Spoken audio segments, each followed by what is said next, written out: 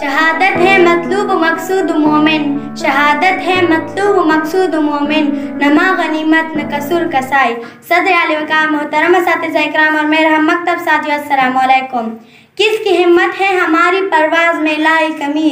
کس کی ہمت ہے ہمارے پرواز میں لائے کمی؟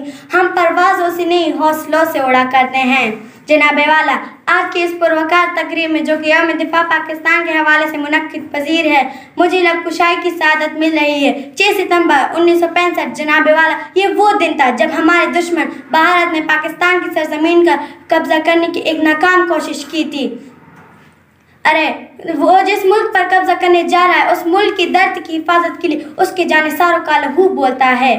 یہ کس نے ہم سے لہو کا خراج پھر مانگا؟ یہ کس نے ہم سے لہو کا خراج پھر مانگا؟ ابھی تو سوئے تھے مقتل کو سرخرو کر کے۔ جناب والا دشمن ایک بات بھول بیٹھا تھا کہ وہ جس ملک پر قبضہ کرنے جا رہا ہے، اس ملک کی ریاست ریاست مدینہ پاک کی طرح لا الہ الا اللہ پر رکھی گئی ہے۔ جناب والا، اگر ہم تاریخ کے اوراق بلٹ کر دیکھیں تو ایسی لاتعداد مثالیں ملتی ہیں جو یہ ثابت کرتی ہیں کہ فتح لہو مانگی ہے۔ اور یہ لہو ہی ہے جس کی وجہ سے کربلا کے میدان میں حضرت امام حسین رضی اللہ نے یزید کے آگے علم بغاوت کیا اور سر جھکانے سے انکار کیا۔ تو انہوں نے یہ ثابت کیا، لی کہ یہ لہو بولتا ہے، جب وہ جب ولی خان بابر نے اپنے حق کے برداشت میں اپنی جان کا نذرانہ پیش کیا، تو انہوں نے یہ ثابت کیا کہ لہو بولتا ہے۔ جب انیس سو پینسٹھ کی جنگ میں پاکستانی افواج نے اپنی سینوں پر بم باندھ کر چوینڈا کے مقام پر ٹینگوں کا قبرستان قائم کی، تو انہوں نے یہ ثابت کیا کہ لہو بولتا ہے۔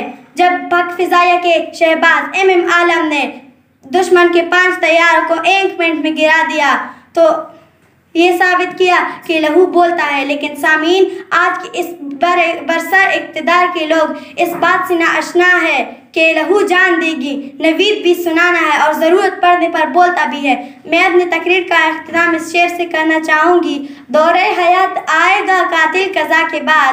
دور حیات آئے گا قاتل قضا کے بعد۔ ہے ابتدا ہماری تیری انتہا کے بعد۔ والسلام۔